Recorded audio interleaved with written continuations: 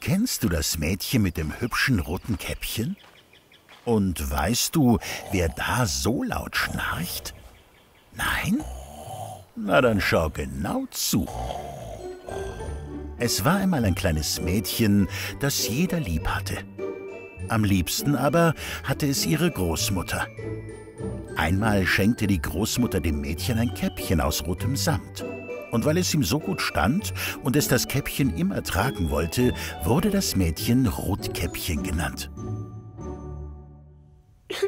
Eines Tages war die Großmutter krank.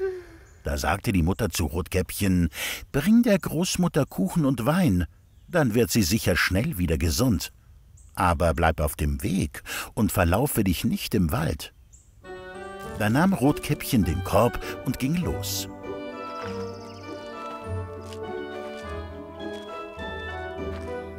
Unterwegs traf es den Wolf. Der Wolf sagte, Guten Tag, Rotkäppchen. Wohin gehst du? Und Rotkäppchen antwortete, Zu meiner kranken Großmutter, die bei den drei großen Eichen wohnt. Ich bringe ihr Kuchen und Wein.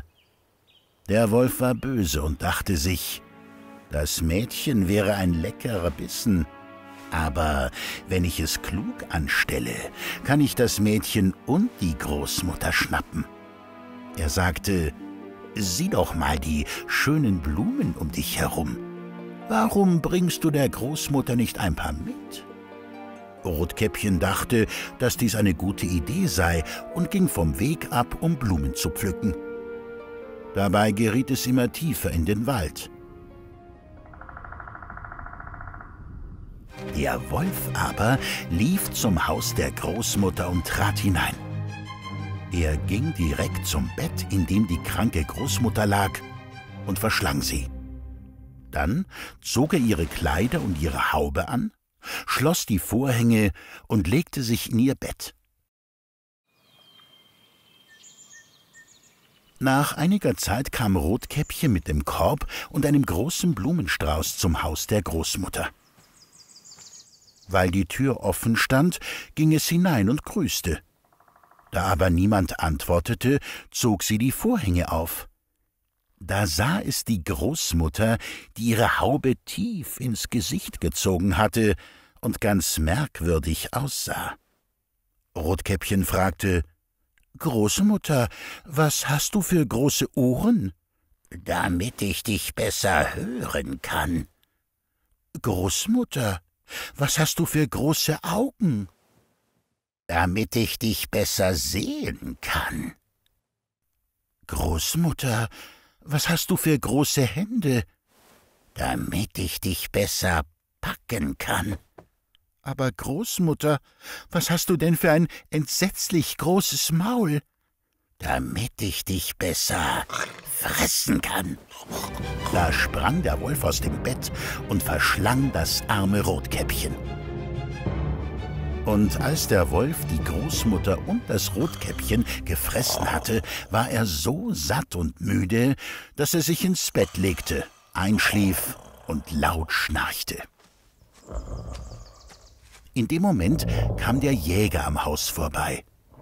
Er wunderte sich über das laute Schnarchen der alten Frau und ging hinein, um nachzusehen, ob es ihr gut gehe. Sofort erkannte der Jäger den bösen Wolf im Bett. Er wollte schon mit dem Gewehr auf den Wolf schießen, da sah er dessen dicken Bauch. Da fiel ihm ein, dass der Wolf die Großmutter gefressen haben könnte und sie vielleicht noch zu retten wäre. Der Jäger schoss nicht, sondern nahm eine Schere und schnitt dem schlafenden Wolf den Bauch auf. Da sprang Rotkäppchen heraus, und nach ein paar weiteren Schnitten kam auch die Großmutter aus dem Bauch des Wolfs. Beiden ging es gut. Rotkäppchen holte schnell ein paar große Steine, mit denen sie den Bauch des Wolfs füllten und ihn zunähten. Und als der Wolf aufwachte und schnell weglaufen wollte, waren die Steine so schwer, dass er tot umfiel. Der Jäger, die Großmutter und Rotkäppchen freuten sich.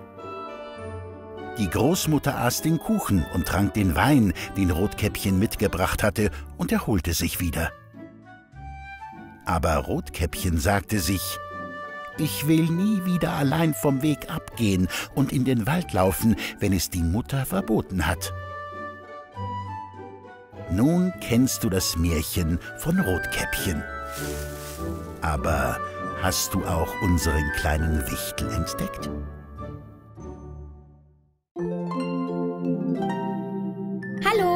Dir unser Märchen gefallen? Dann abonniere hier unseren Kanal, um die neuesten Märchen zu sehen. Hier bin ich. Du möchtest direkt weitere Märchen sehen? Dann klick hier.